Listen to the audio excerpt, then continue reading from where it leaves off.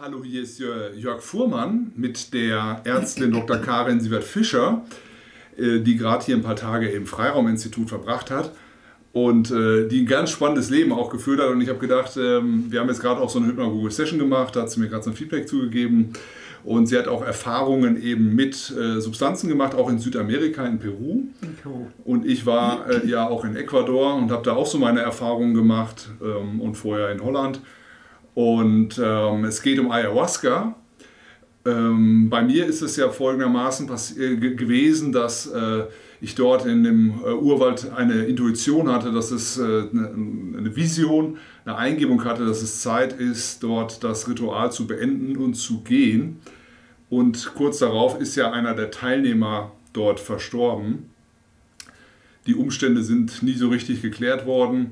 Und ich habe immer wieder auch von solchen Fällen hinterher gehört oder gelesen.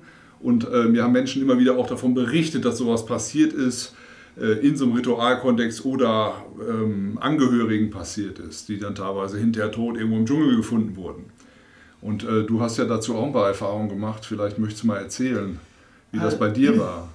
Ich war in Peru in, einem, in einer Gruppe von ungefähr 20 Leuten aus, ganz, aus, der, aus der ganzen Welt ich war die einzige Deutsche. Mhm. Wir wurden vorbereitet an der Gruppe, das war alles sehr in Ordnung. Mhm.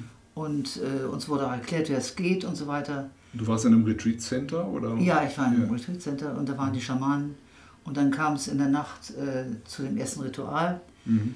Und man kriegte dann in einem kleinen Becher, ungefähr wie ein Eierbecher mhm. so groß, äh, die, das, die Substanz verabreicht. Mhm. Und ich merkte, wie das durch den ganzen Körper ging bis mhm. in die Zehen. Mhm. Und dachte noch so, es war alles dunkel und so das ist ja ganz toll, das wirkt jetzt ganz toll und so weiter. Mhm. Ja, und dann war es unheimlich hart, diese mhm. Session, unheimlich hart. Mhm. Ich hatte zwischendurch das Gefühl, äh, wir bleiben stecken, die Schamanen sagen immer, immer weiter, immer weiter und immer lauter, mhm. sodass man dachte, äh, die merken auch, dass was nicht stimmt mit der mhm. Gruppe.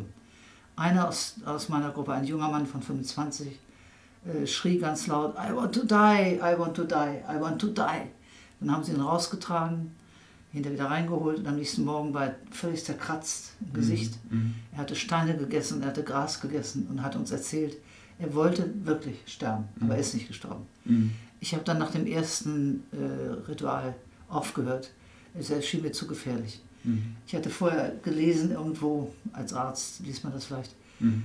ähm, dass man häufig einen hohen Blutdruck kriegt und dass ja. es sehr gefährlich ist. Ja. Und dass man aufgrund des hohen Blutdrucks auch einen Schlaganfall kriegen kann als andere mhm. und hatte mir sicherheitshalber zwei blutdrucksenkende Mittel in flüssiger Form mitgenommen. Ah, ja.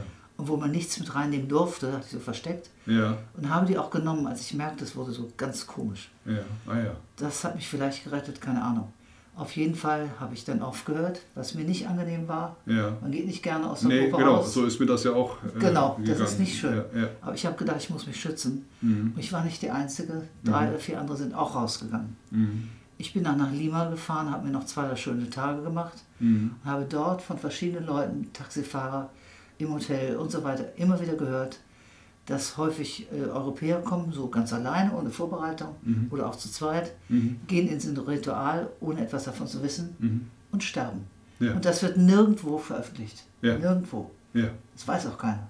Aber ich habe es original gehört. Ja, krass. da war ich froh, dass ich das so gemacht habe. Ich mache es auch nicht wieder. Ja. Ja. Wow. Ja, danke, äh, danke fürs Mitteilen. Gerne. Also äh, ich habe äh, häufig von Leuten gehört, bei mir wäre das ja so ein Einzelfall gewesen in dieser nein. Session und so. Nein. Und da habe ich es auch mal wieder gesagt, nein, das ist nicht so.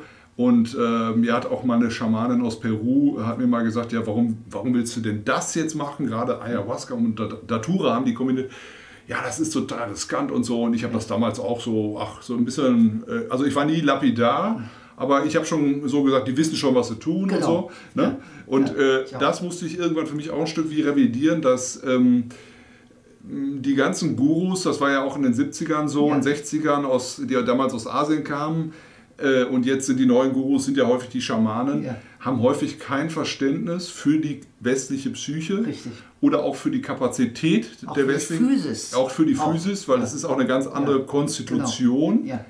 Ähm, und wenn man dann so äh, verschiedene Sachen schon am Laufen hat, mit was weiß ich, Chronic Fatigue, ja. Entgiftungsstörungen, was weiß, Umweltbelastung hoch 10, dann kann das halt eben on top auch viel zu viel sein. Ja. Und äh, ja, äh, da ist auch wirklich, finde ich, Safety First. Und ähm, es gibt ja auch andere Wege, Wege und Möglichkeiten, wie man auch in diese erweiterten Zustände kommt, wie zum Beispiel hier über die Atemarbeit, wie wir es machen Ja. und das Hypnagoge Atmen und andere Dinge, die auch eben mehr safe sind, äh, auch im Sinne des polyvagalen ähm, Konzeptes nach Porges und ähm, wo man einfach nicht so schnell äh, in sehr schwierige Zustände reinkommt. aus denen man alleine nicht mehr rauskommt. Dann, Man ja, muss dann einfach abwarten, bis es Genau. abflaut, bis es aufhört. ja genau, Und das ist ein furchtbarer Zustand, ja. dies ausgeliefert sein. Ja, genau. Ja, ja. Ja, also, ähm, wenn ihr sowas macht, ja, schaut euch auf jeden Fall gut an, wie es um euch Ja. bestellt ist. Äh, nehmt eure Grenzen ernst, bereitet euch auch entsprechend vor, äh, informiert euch auch Worst-Case-mäßig, Szenario-mäßig und äh, werft euch nicht gleich dem Erstbesten an den Hals.